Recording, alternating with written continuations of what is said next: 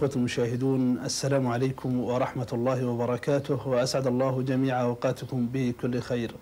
نحييكم مع بداية حلقة جديدة من برنامجكم الأسبوعي جولة في مدينة والتي نسجلها لكم في مدينة رفحة.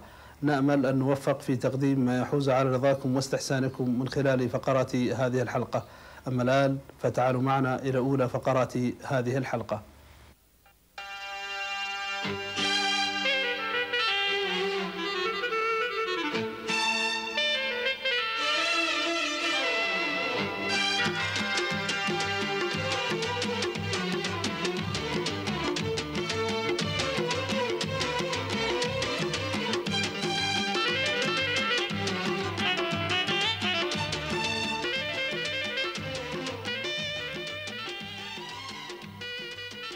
أعزائي المشاهدين مدينة رفحة كغيرها من مدن بلادنا الحبيبة التي كان لها النصيب الأوفر من الاهتمام ورعاية البالغين اللذين توليهما حكومة خادم الحرمين الشريفين وسمو ولي عهده الأمين يحفظهم الله في شتى المجالات والميادين. كما أن لمتابعة صاحب السمو الأمير عبد الله بن عبد العزيز بن مساعد آل سعود أمير منطقة الحدود الشمالية أبلغ الأثر في تطور هذا الجزء الغالي من بلادنا. لإلقاء الضوء على ماضي وحاضر مدينة رفحة يسرني وبكل ترحاب أن ألتقي سعادة أمير مدينة رفحة الأستاذ إبراهيم بن حمد الهزاع. فباسمكم أرحب به من خلال هذا اللقاء. مرحبا فيك سعادة الأمير. أهلا وسهلا. أه، سعادة الأمير لا أدري ما سبب تسمية مدينة رفحة بهذا الاسم. والله مدينة رفحة أخذ الاسم هذا من آه، قارة أو جبل. بالقرب من مدينة رفحة. ولا يزال هذا الجبل يسمى رفحة. وجيت م- مكتب يعني عن امرأة كانت ساكنة عنده. يعني نفهم من سعادة الأمير أن مسمى مدينة رفحة أه، أخذ من قارة أو جبل بالقرب من المدينة. أه، كان ولا يزال هذا الجبل يسمى برفحة أو بالنسبة إلى امرأة سكنت ذلك الموقع. أه، لا أدري سعادة الأمير أه، ما تاريخ مدينة رفحة؟ أو بالأحرى من كم سنة أقيمت مدينة رفحة؟ والله تاريخ مدينة رفحة يرجع قبل حوالي 45 سنة. وقد تزمن خروج المدينة مع إنشاء خط الأنابيب. الذي يربط المنطقة الشرقية بال- بالمملكة العربية السعودية إلى صيدا في لبنان وهذا في ذلك الوقت. أه، سعادة الأمير لا أدري كم عدد سكان مدينة رفحة مع هجرها وما هي أعمالهم. يقارب سكان مدينة رفحة مع الهجر المحيطة بها حوالي خمسين ألف نسمة.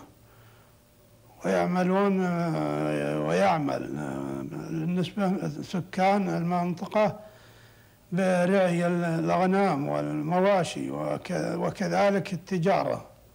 نظرا لأن المنطقة منطقة آه، مراعي. سعادة الأمير يا ريت تعرفنا على مناخ المدينة مدينة رفحة.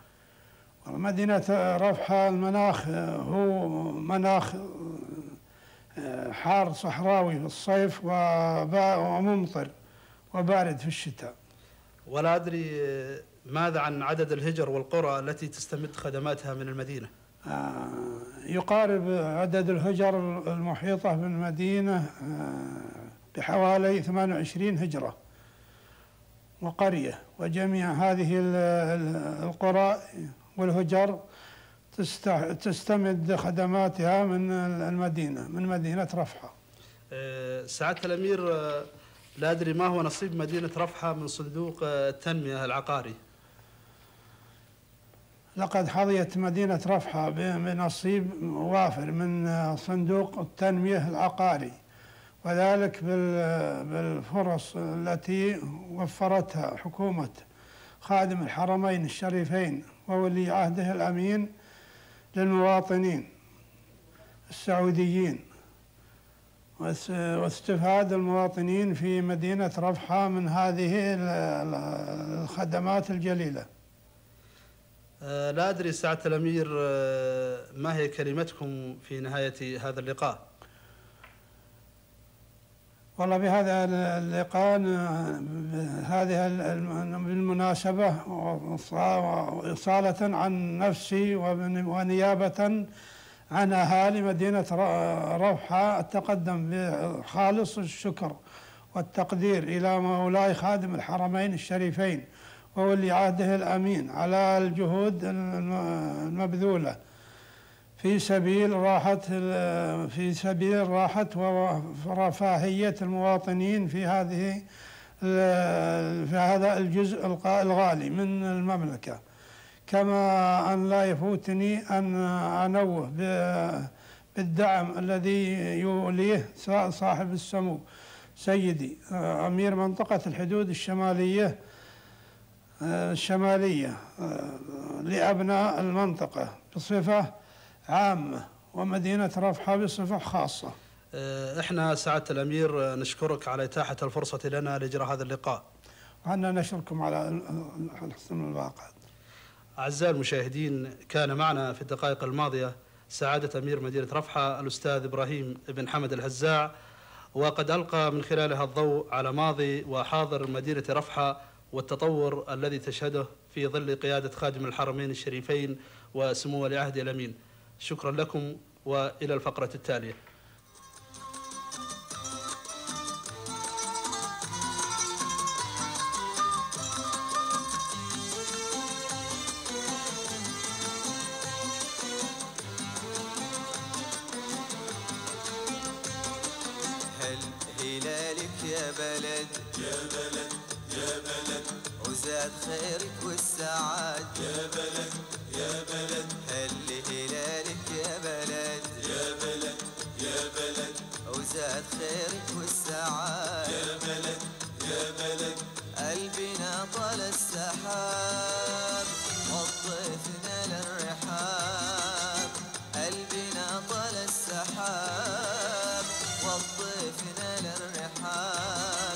وإلى الفقرة التالية أعزائي المشاهدين حظيت مدينة رفحة بالعديد من المرافق الحيوية الهامة. ولعل من أهم هذه المرافق التي وفرتها الدولة وأعزها الله لمواطني مدينة رفحة محطة تنقية مياه مدينة رفحة. لإلقاء الضوء على هذا الجانب التقينا مدير فرع وزارة الزراعة والمياه بمدينة رفحة الأستاذ فهد سعود المطيلق وكان منه الحديث التالي. بسم الله الرحمن الرحيم. لقد قامت وزارة الزراعة والمياه بناء على توجيهات خادم الحرمين الشريفين وسمو ولي عهد الأمين ومتابعة معالي وزير الزراعة والمياه بإنشاء مشروع محطة تنقية مياه رفحة لتوفير المياه الصالحة للشرب للمواطنين. وقد تم الانتهاء من مشروع المحطة سنة 1405 هجري.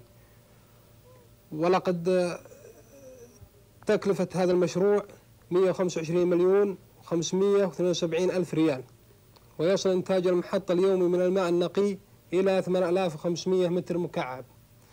وتفي المحطة باحتياجات ماء الشرب لمدينة رفحة وتخدم القرى والهجر المحيطة بها بواسطة ناقلات السقيا التي تقوم بتعبئة ماء الشرب من وحدات الشرب الخارجة من مشروع التنقية.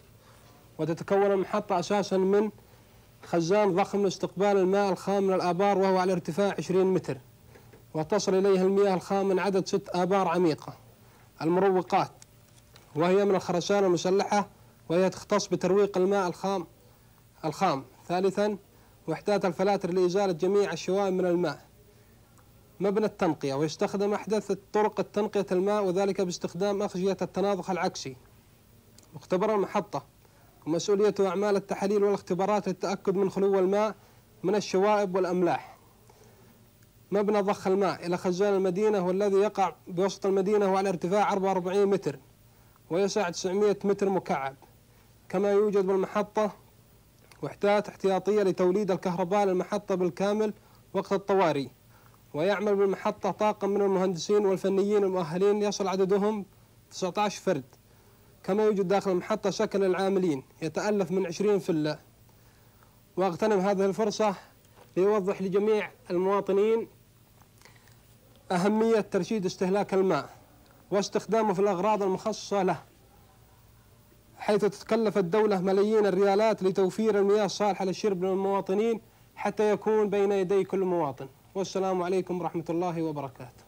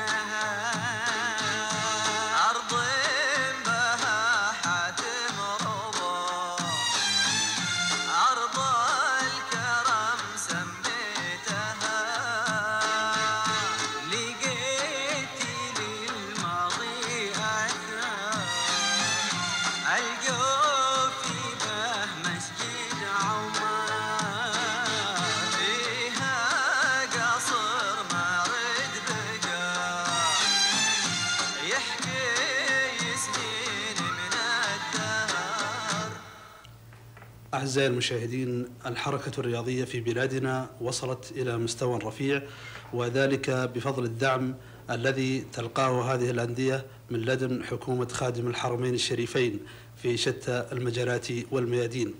ونادي التضامن الرياضي في مدينة رفحة هو أحد أندية الدرجة الثانية في بلادنا الحبيبة. لإلقاء الضوء على هذا النادي التقينا الأستاذ ياسين محمد العلاوي رئيس نادي التضامن الرياضي في مدينة رفحة وكان منه الحديث التالي. بسم الله الرحمن الرحيم والصلاة والسلام على سيد المرسلين. لقد تأسس نادي التضامن الرياضي في مدينة رفحة عام 1000 1394 وسجل وسجل رسميا لدى الرئاسة العامة لرعاية الشباب عام 1396 ومنذ ذلك التاريخ والنادي يزاول نشاطه الرياضي والثقافي والاجتماعي ضمن زملائه في المنطقة الشمالية. نادينا ولله الحمد يشمل على منشآت رياضية وعلى ملعب مزروع طبيعي والعمل الآن جاري لإقامة ملعب رديف. كما أن إدارة النادي قررت إنشاء صالة سباحة مغلقة وسيتم البدء بالمشروع بالتعاون مع بعض المؤسسات الوطنية من رفحة وعرعر للإسهام في تنفيذ هذه الصالة.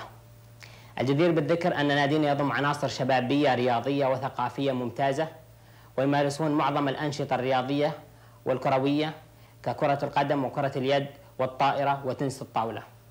هذا وأن النادي يقيم دورة رمضانية سنويا في كرة القدم على كأس صاحب السمو أمير منطقة الحدود الشمالية وعلى نفقة سموه الكريم. ومما يجدر ومما يجدر ذكره بأن نادي التضامن قد استضاف دورتي التطوع التي تمت في مدينة رفحة. ومن الأنشطة الأخرى يقوم النادي بإحياء العديد من الأمسيات الشعرية والندوات التي تعود إن شاء الله بالنفع إلى شباب النادي بوجه خاص وإلى شباب المنطقة بوجه عام.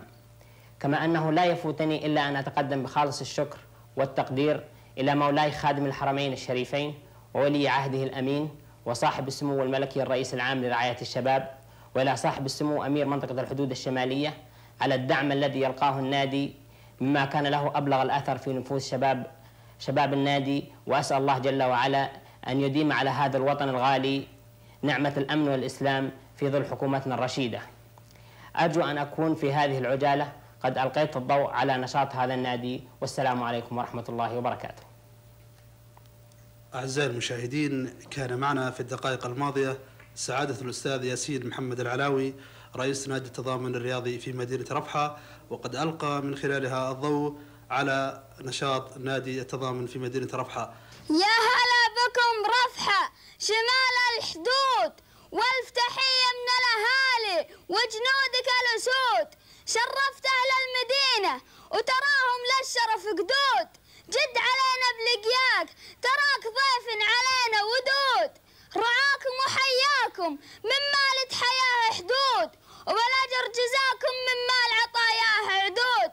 وحنا معك بلوغة أشبال وسود. لا نهاب الموت ولا نخون العهود. مملكتنا مملكتنا يا عرين الأسود. لك مجد مشيد من زمان الجدود شيده عبد العزيز وأحفاده السعود بسم الله أكبر من شر كل ظالم وحسود ومن يمس ديارنا بسوء عسى ما له وجود. وحنا للعوزات ذخر وبعطاياكم نجود. وبالختام الصلاة على النبي الموعود. بالشفاعة شفيعنا يوم الناس حشود.